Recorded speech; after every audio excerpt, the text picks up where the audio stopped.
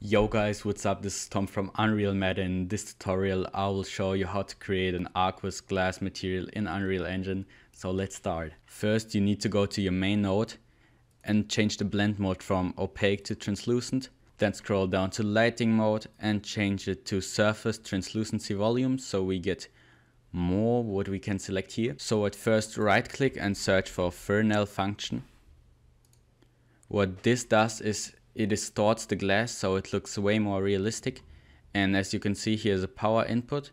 So we press one, left click and get this node, convert it to a parameter and let's call this power. And plug this in into power. Let's change the default value from 0 to 3. That is what works the best for me. And we can begin with the main setup.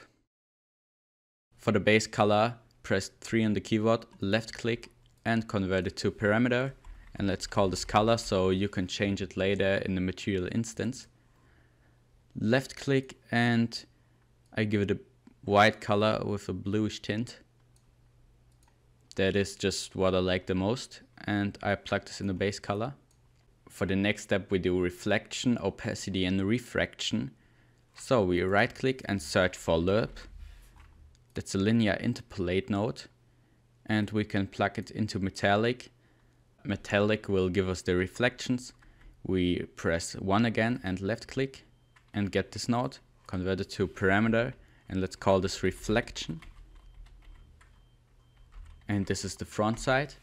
Press Ctrl W to get another node and let's call this reflection side. So we have the front and the side. Now you can plug the pin from the side into B and the pin from the front into A. Select all these nodes and press Ctrl W one time and another time. So this pin goes into opacity and this pin goes into refraction. I tell you later what we will do with it. So let's change our names and our values.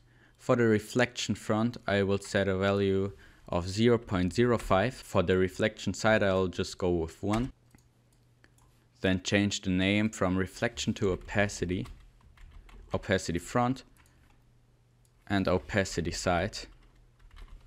This number will stay at 0.05 and this number will go to 0.2.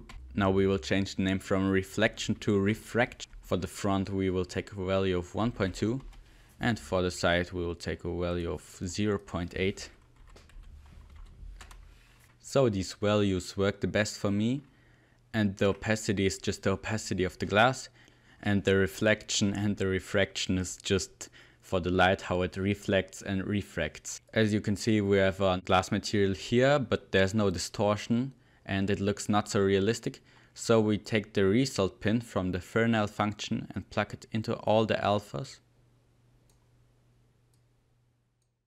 And for this material we don't need roughness, so we press 1 on the keyboard, left click and convert it to a parameter again and let's call this roughness and this pin goes just in a roughness.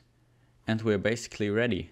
So just save your material. If you right click on the material and create a material instance, you can go into that and we will see a nice glass material with the distortion here.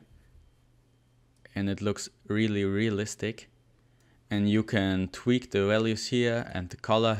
You can make tinted glass, maybe blue, red, or even green, all the colors, but I leave it at here, like white bluish.